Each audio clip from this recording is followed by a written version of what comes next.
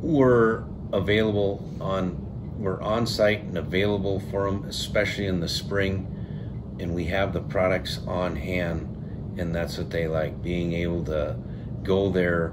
They say they run short of seed or or, or chemicals or something like that. They go to the retailer because he's probably has it in inventory, and they can go and they go, hey, he's going to have product. They're going to be there. They're really busy in the spring, and I can count on them guys almost 24 7 and, and that's what they like